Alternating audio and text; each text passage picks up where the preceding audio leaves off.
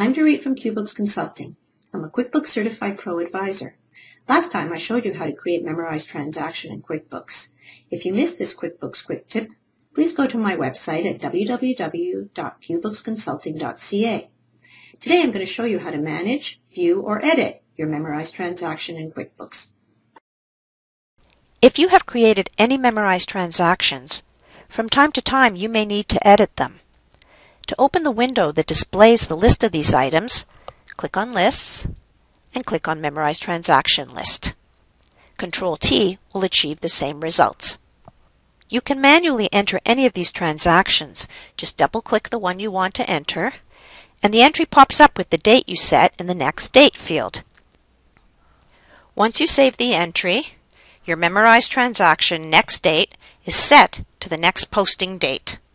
If your transaction has changed, for example, the insurance amount has changed from 385 to 395, make your changes and then rememorize the transaction. You do this by clicking on Edit, Memorize Check, or whatever type of transaction it is. Here a window pops up asking you whether you want to replace your existing transaction, add a new memorized transaction, or cancel saving this transaction because you hit the wrong key or changed your mind. I'm going to click Replace, and you can see the amount has now changed to 395. There are three different ways to edit the schedule for any of these items, all achieving the same results. You can right-click on the transaction you wish to edit, and then click Edit Memorize Transaction.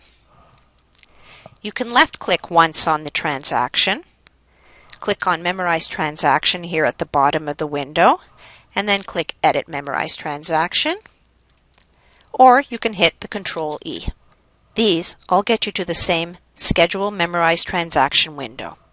Now you can make any changes you need to, like resetting the date to the next month, and click OK when you are done. You can see your memorized transaction list on your reminders list. How to set the preferences on your reminders list will be discussed next time. I hope you found this QuickBooks Quick Tip useful.